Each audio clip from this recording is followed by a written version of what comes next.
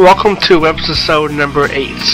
In this episode I'm going to show you how to customize your members area um, box over here with the edit profile, inbox, invite, etc. Now if you go on to a normal, actually, what it looks like without is pretty, it's nice but it's pretty plain looking. So with, um, this is what it looks like before. So with a little bit of coding, you can totally customize this for your site. So to get started, first we need to know the class of each of these, which is you can see the class of inbox, edit profile, invite are icon link. So to start, we'll go in here and type it in. And first I'm going to pick a nice color to match this template, which is uh, like a pink color here. This is a Firefox plugin by the way, colors in there. I'm going to add a background, and I'm also going to add the important sign, because right now, each of these uh, icons here is actually a background. Um, so if you add the, I, the important, it'll it'll take those away. So let's uh, save the design here and see how it looks better. And we also need to change the color to black. And right away we can see that there's a lot of unnecessary padding here. So to do that we're just going to add padding 0 pixels. But I can envision that adding that will make these look really small and cluttered up. So I'm, I'm just going to change this to 5 pixels.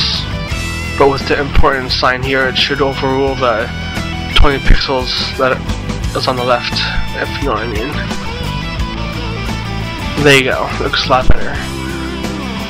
Now I'm also going to flip this to the left, and we'll see how that looks.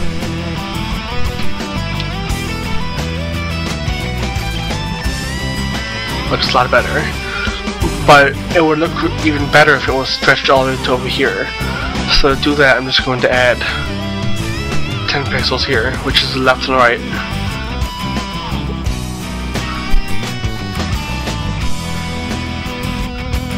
And almost there, as you can see it still has a little ways to go, so put this up to 5, 15 pixels.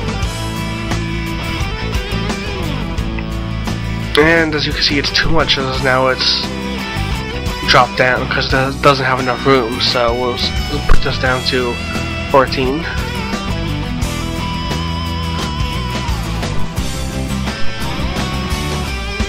and still too much so we'll put down another we'll just keep going down until it fits. There we go.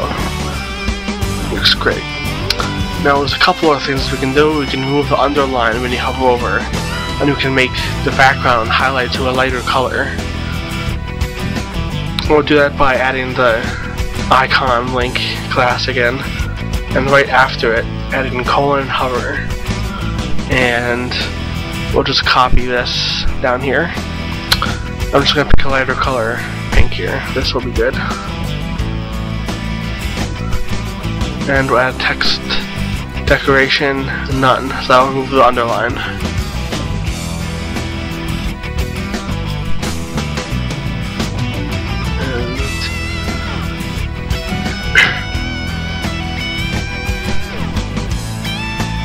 refresh and see how it looks.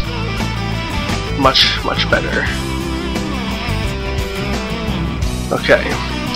Now, when I was pre-coding this for the tutorial, I was debating what to do with this little icon here.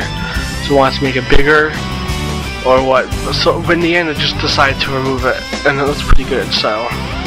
This class is FW Profile Pic. But if you're not careful, and you make it so it doesn't display, um, it won't display in the forums or the profile either, because the class on the image on the forums and on the profile use the same name, the same class.